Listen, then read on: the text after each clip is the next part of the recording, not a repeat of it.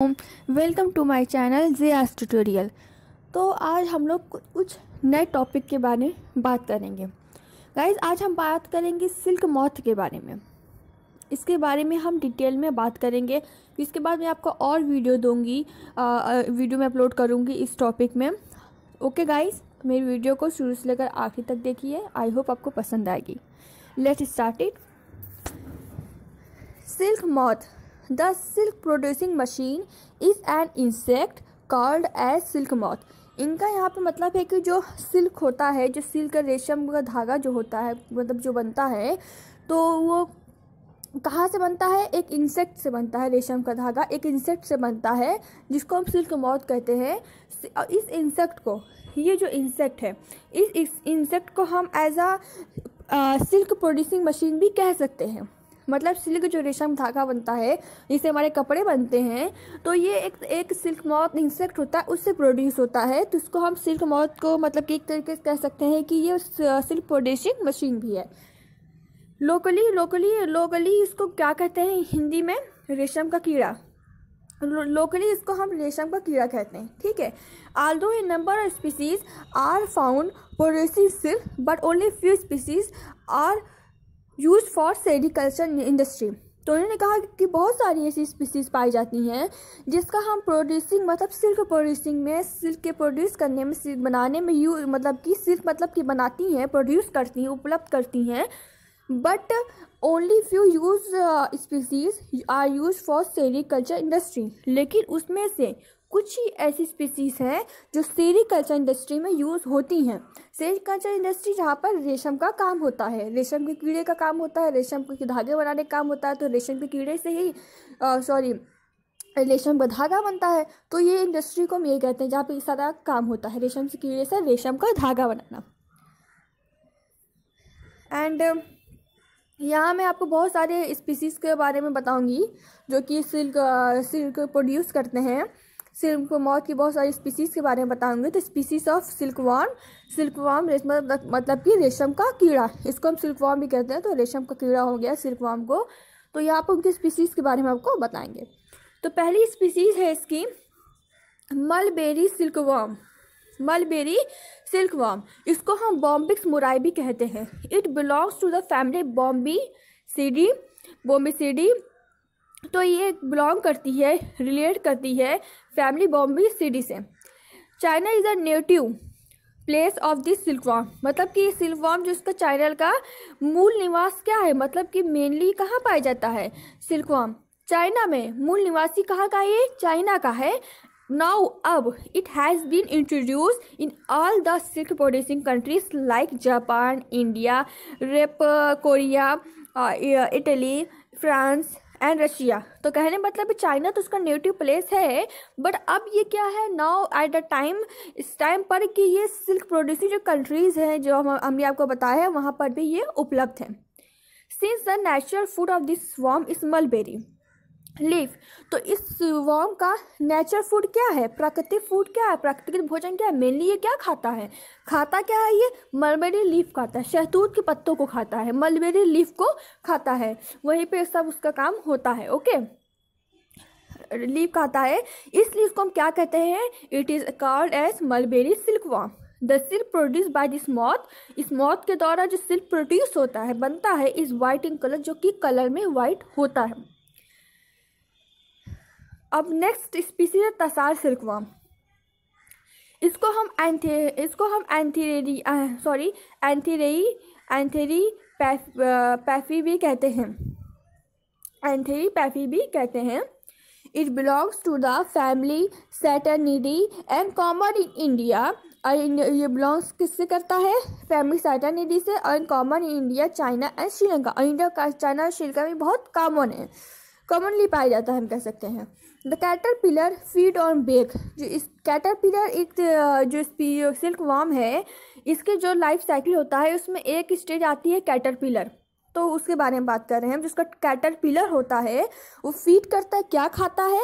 बेर खाता है, ओक खाता है, साल एंड फिक के प्लांट्स को ये खाता है। नॉर्मली हमने बात की मलबेरी सिल्क वर्म के बारे में तो उसका मूल भोजन क्या था? नेचुरल फ़ूड क्या था इसका? इसका मलबेरी लीफ था।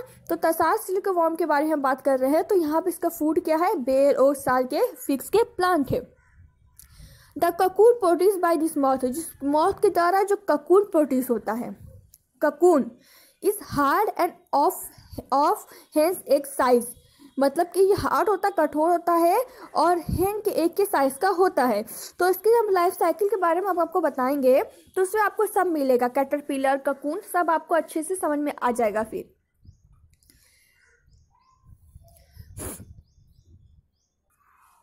सो so गाइस ये जो हम आपको बताए जिसमें कैटरपिलर का नाम आ रहा है ककून का नाम आ रहा है तो जब हम आपको लाइफ साइकिल बढ़ाएँगे तो उसमें आपको अच्छे से सब समझ में आ जाएगा।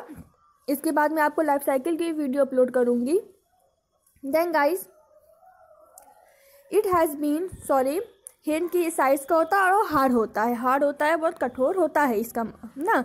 विच प्रोड्यूस रियरबर ब्राउन कलर सिल्क रियरबर मतलब कि जिसका हम धागा बनाकर उसको रील कर सके। रील मतलब कि धागे की रील होती है ना, उसमें धागे रील किए मतलब कि रहते हैं। तो कहने मतलब वही है मतलब कि सिल्क को बनाकर रील कर देना। और यह ब्राउन कलर का सिल्क होता है। Though it had been only a wide variety of silk moth ये क्या है? सिल्क मॉथ की वाइड वाइट वेराइटी है।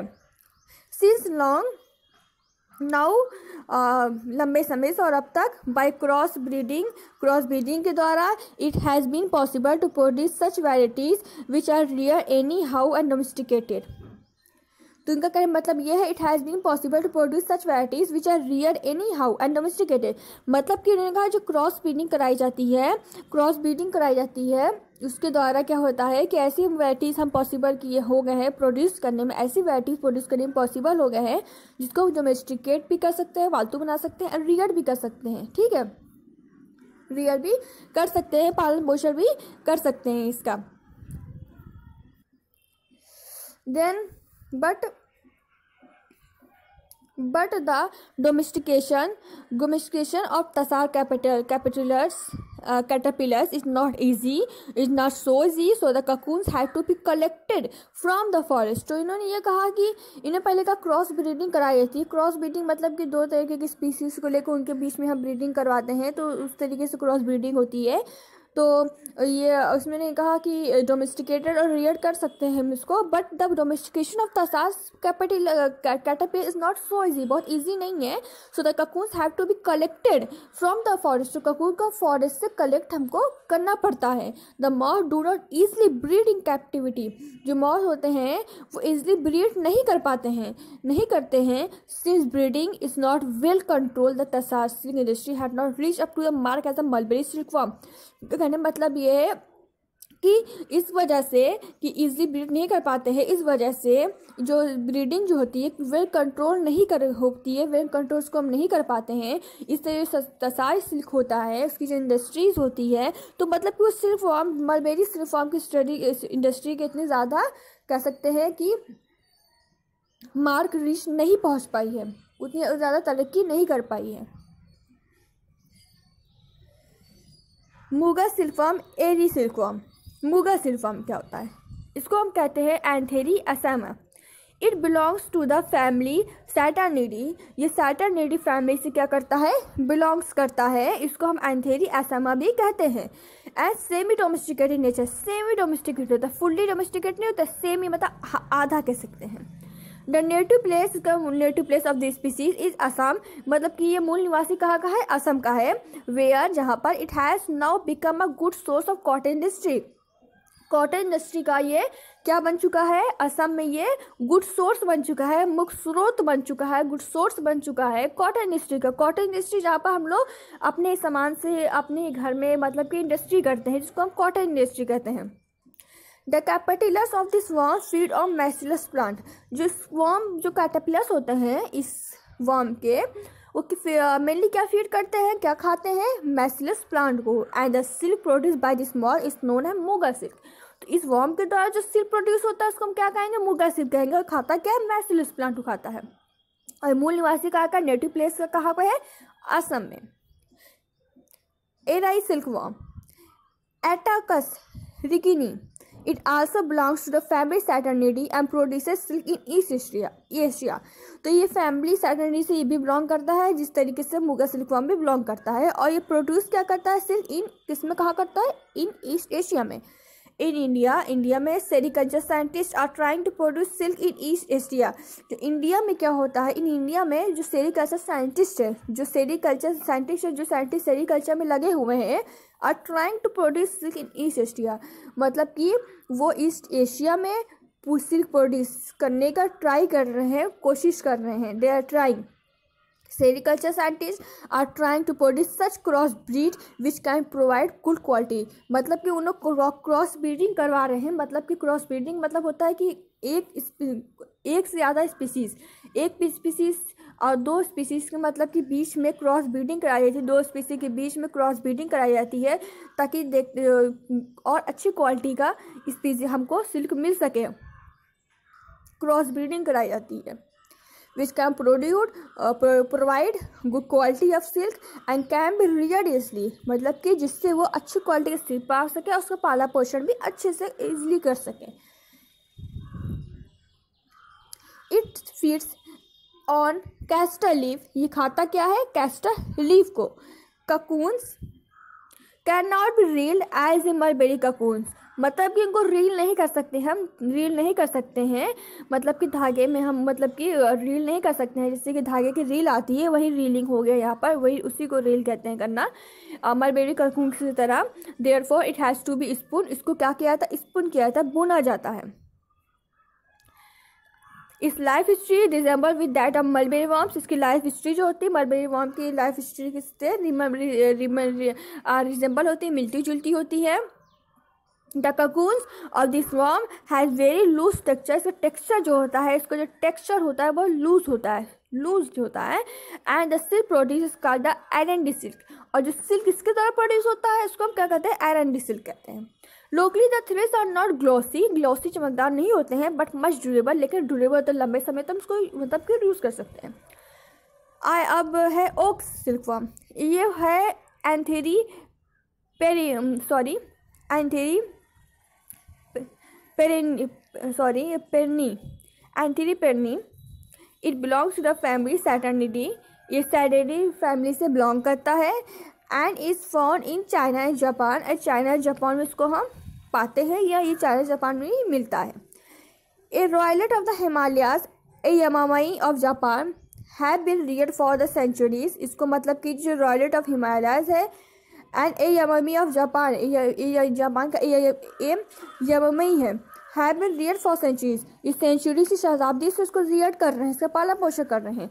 They produce good quality of silk ये गुड क्वालिटी ऑफ़ सिल्क को प्रोड्यूस करते हैं।